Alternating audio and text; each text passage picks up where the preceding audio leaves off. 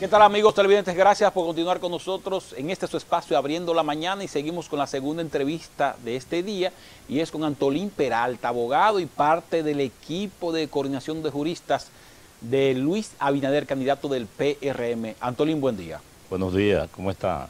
Estamos mejor que ayer. Ah, pero eso es una buena noticia.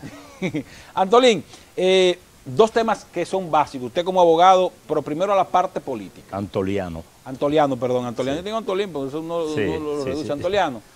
Y es, Freddy Pérez estuvo ahí hace unos minutos y dijimos la pregunta, Freddy, ¿quién es el líder de la oposición? Que Lionel Fernández, usted, ¿quién es el líder de la oposición? Aunque usted sea de Luis Abinader, ¿qué es la realidad? Dígame.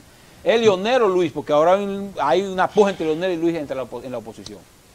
Yo pienso que el hecho de que el distinguido eh, dirigente político eh, Freddy Pérez plantee eso es un acto de inteligencia porque la sola duda beneficia al expresidente Fernández.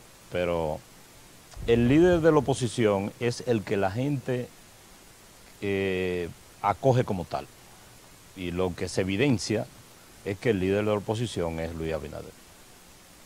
¿Qué dicen los números de la encuesta que tienen ustedes? De hecho, en las redes sociales está circulando una encuesta ahí y coloca a Luis Abinader bien posicionado. ¿Esos son los números o qué manejan ustedes? No, todos los números que se manejan hacia lo interno del partido y, y los sondeos públicos que se hacen indican que, que Luis tiene la primacía ahora mismo para ganar las elecciones. Si fueran hoy, posiblemente la- las ganaba en primera vuelta. Wow. Si fuera hoy, sin necesidad de alianza y segunda vuelta. Bueno, tiene, tiene eh, un conjunto de partidos que lo apoyan, hay que tomar en cuenta eso. Eh, Antoliano, Antoliano, y la alianza con la Fuerza del Pueblo y otras organizaciones a lo nivel congresual, ¿cómo ustedes la están manejando? ¿Ha afectado a algunos aspirantes internos de ustedes donde no van a presentar candidatura al PRM? No, generalmente no. O sea, el PRM tiene eh, una alianza con un conjunto de partidos que se llama Juntos Podemos y dentro de ese conjunto ha entrado el nuevo partido PTD o Fuerza del Pueblo y los acuerdos que ha hecho el PRM no implican sacrificar a ningún candidato. El PRM ostenta eh, aproximadamente 13 candidaturas a senadores y las restantes están distribuidas entre los partidos alia- aliados a ese nivel y algunas que, que son independientes, pero no hay disgusto ni hay ningún problema con eso. Le hago la pregunta porque Carolina Mejía, la secretaria general del PRM, difiere de ese acuerdo. ¿Cómo ha caído en las bases del PRM este- esta comunicación de Carolina? Porque uno podía entender que no, no entendimos, o sea, esta carta que le envió, si ella podía poner su posición en lo interno y no darlo a conocer a lo externo, pero dio a conocer a lo externo. ¿Cómo ha caído esta posición de Carolina Mejía dentro del PRM? Mira, la reacción de la secretaria general, la compañera Carolina, eh, si algo, si con algo yo no estoy eh, de acuerdo es con el hecho de, de, haber, de haberlo hecho público, pero a mí me parece una reacción normal, democrática y aceptable. O sea, en un partido, eh, cuando se asume la militancia de un partido, es cierto que se asumen sus lineamientos, su doctrina, su régimen disciplinario, sobre todo su régimen disciplinario, sus- su estatuto, pero eso no quiere decir que el hecho de yo estar militando en una organización tengo que estar de acuerdo con todo lo que ahí ocurra. Eh, ni siquiera en los tribunales, usted que ha cubierto sí. tanto las decisiones de, los- de los tribunales, las decisiones importantes, los jueces tienen sus votos Disidentes. disidentes y no y, lo, y si salen actas, obvio. Y así se hace Sí, contar, es decir, usted no está de acuerdo y no está de acuerdo. A mí me parece que la reacción de Carolina Mejía me parece normal dentro de un partido democrático donde se respeta el derecho a la disidencia. Eh, Ahora, si yo hubiese sido ella, no, no lo publico. No, Eso lo- no eso veo, iba a preguntar, o sea, no lo veo necesario. ¿Por qué no lo manejaron a nivel interno? No fue, no No, fue fue una posible, o sea, de que en una reunión pudiera expresar, lo digo porque uno a veces no entiende el manejo.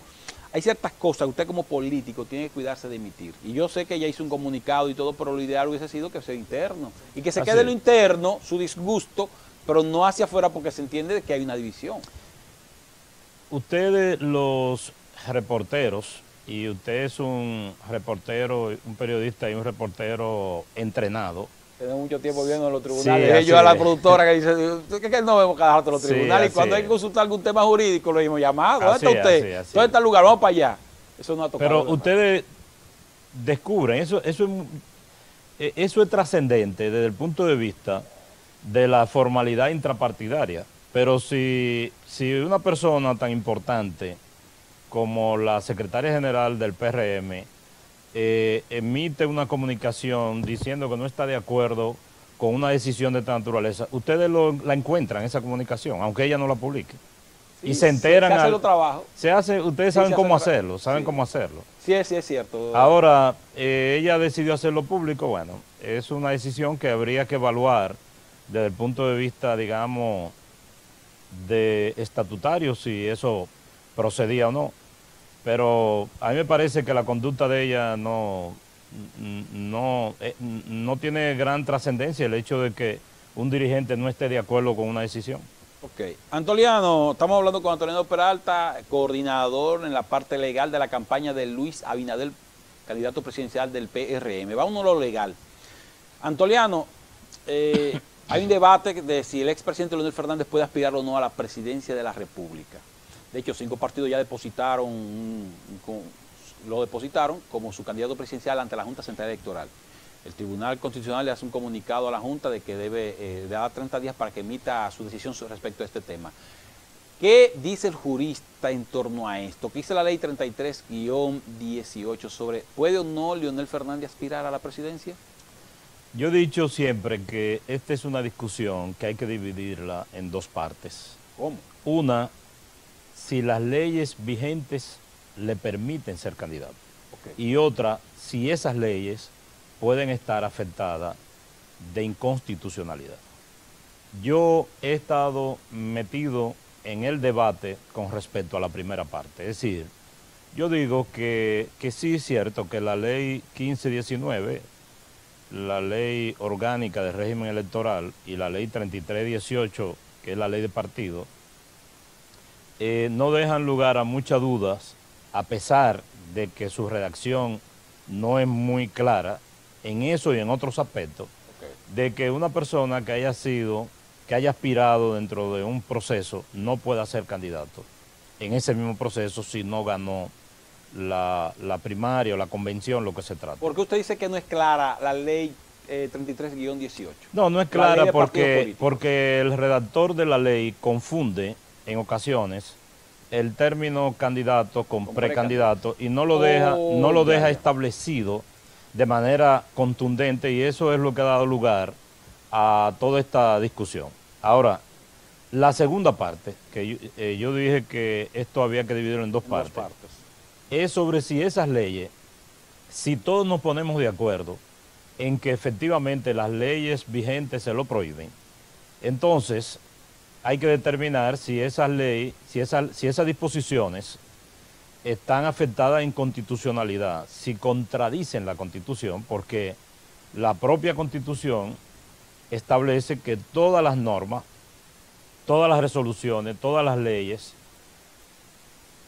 que contradigan la constitución devienen en nula. Pero claro, que sea automáticamente. Ok, ahora esa nulidad tiene que ser declarada a propósito de eso, un joven jurista eh, de gran prosapia, por cierto, de alta inteligencia, oh. el licenciado Daniel Beltré Acosta, incoó una acción ante el Tribunal Constitucional tratando de lograr que estas disposiciones que prohíben, o sea, esto es más inteligente que decir que la ley no se lo prohíbe, eh, que estas disposiciones sean declaradas inconstitucionales.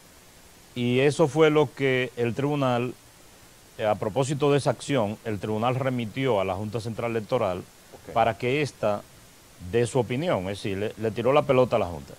Ahora bien, el Tribunal Constitucional también está apoderado de una acción de un diputado, de un precandidato a diputado del PLD que alega que el hecho de él haber perdido la precandidatura no le impide ser candidato.